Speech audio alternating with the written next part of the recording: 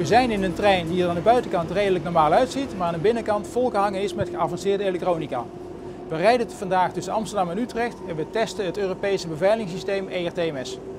Het mooie voordeel van dit systeem is dat treinen sneller en korter achter elkaar kunnen rijden, net zoals in de metro, zodat reizigers eerder op hun eindbestemming zijn.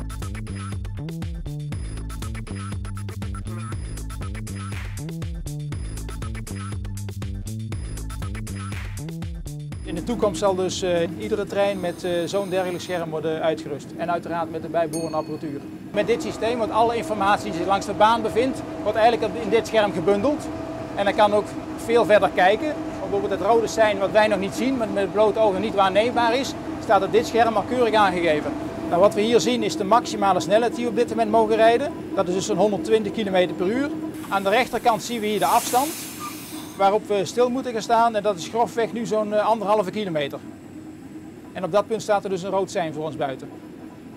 Dat sein kan ik nu vanuit de cabine nog niet zien, maar de apparatuur heeft er dus al vanuit de baan doorgekregen. Het sterke van dit systeem is dat hij constant aangeeft wat de maximale snelheid is die de machinist mag rijden. Mocht, je daar toch iets, mocht de trein iets harder rijden, dan gaat het systeem automatisch remmen.